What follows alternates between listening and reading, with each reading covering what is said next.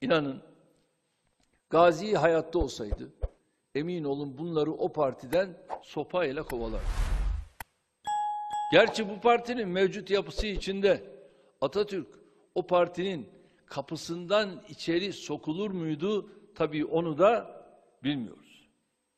İktidarın hayalini kurmakla bile böylesine küstahlaşan, nobranlaşan, kibirden yanlarına varılmayan, her kesimi tehdit eden, gavurun kılıcını çalmaktan başka iş bilmeyen bu faşist zihniyet milletimizden hak ettiği dersi mutlaka alacaktır.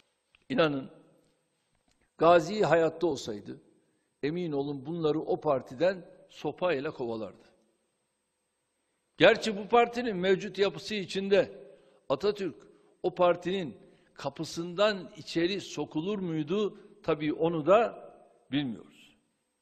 İktidarın hayalini kurmakla bile böylesine küstahlaşan, nobranlaşan, kibirden yanlarına varılmayan, her kesimi tehdit eden, gavurun kılıcını çalmaktan başka iş bilmeyen bu faşist zihniyet milletimizden hak ettiği dersi mutlaka alacaktır.